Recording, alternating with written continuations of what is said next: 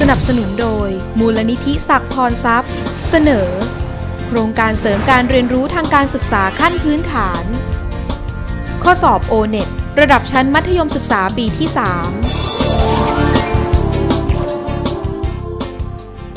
จากโจทย์ข้อ 3 นักเรียนห้องหนึ่งเป็นนักเรียนชาย เศษ5ส่วน9ของนักเรียนทั้งห้อง มีนักเรียนหญิงเป็นนักกรีธาอยู่ 0.5 ของนักเรียนหญิง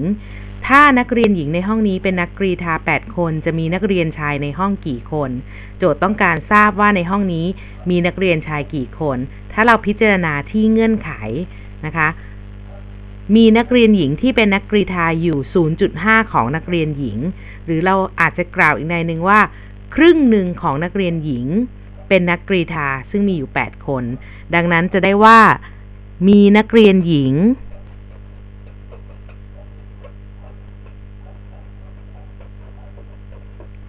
16 คน และจากเงื่อนไขข้างต้น กล่าวว่าเป็นนักเรียนชาย 5 ส่วน 9 ของนักเรียนทั้งห้อง ดังนั้น จากเงื่อนไขนี้เราจะได้ว่า มีนักเรียนหญิง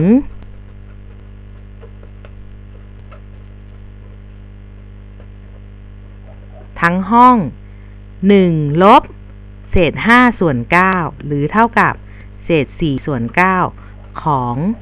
นักเรียนทั้งห้อง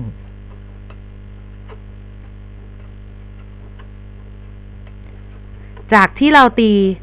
เงื่อนไขทั้งสองเงื่อนไข เราจะสามารถ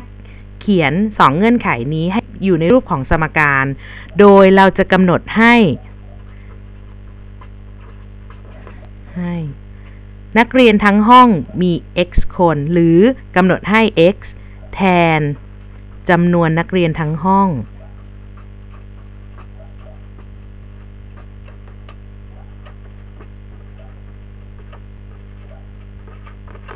ดังนั้น เราจะเขียนสมการได้ว่า เศษ 4 ส่วน 9 x เท่ากับ 16 หรือ x เท่ากับ 16 คูณ